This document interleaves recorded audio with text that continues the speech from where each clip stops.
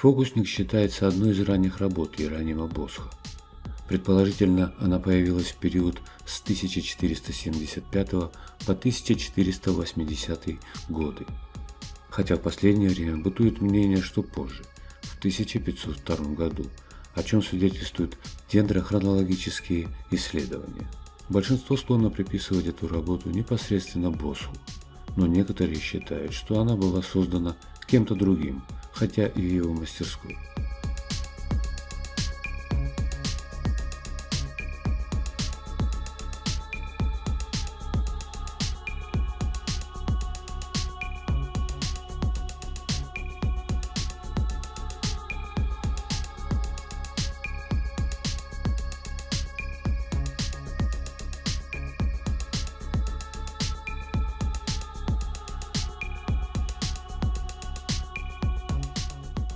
Картина находится в запасниках муниципального музея Сен-Жермен-Анле, пригород Парижа, Франция. Есть вообще пять вариантов этой картины и одна гравюра, но большинство экспертов считают, что именно в Сан-Жермен-Анле находится подлинник.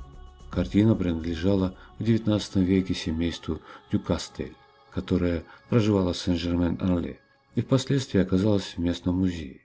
1 декабря 1978 года картина была украдена из музея и вернулась на место 2 февраля 1979 года. С тех пор ее извлекают на свет Божий только по особым случаям, когда организуются крупные выставки в других городах и странах, например.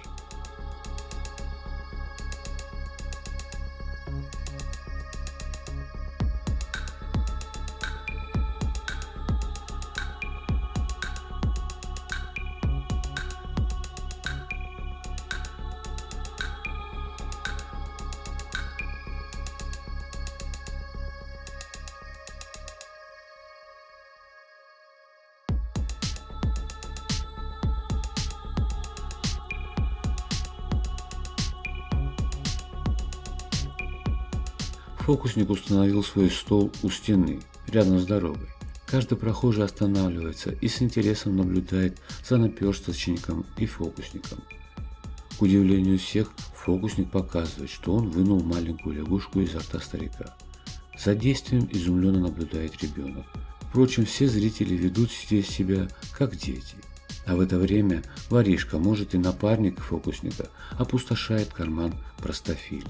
Обращает на себя внимание благочестивый молодой человек, что-то внушающий хорошо одетой даме. Есть также версия, что на картине изображен сам босс с женой. Он указывает ей на вора, как бы обличает ложь и предостерегает. Жена его была, как известно, весьма состоятельна.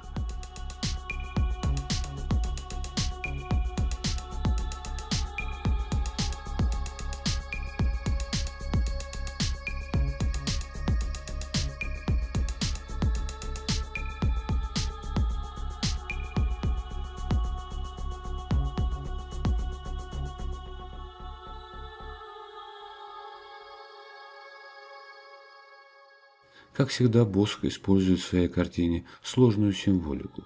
Сова, смотрящая из корзины на поясе фокусника, символ зла. Под столом сидит маленькая собачка или обезьянка в костюме шута. Это символ обмана. Прислоненный к столу обруч, скорее всего, является ее орудием труда.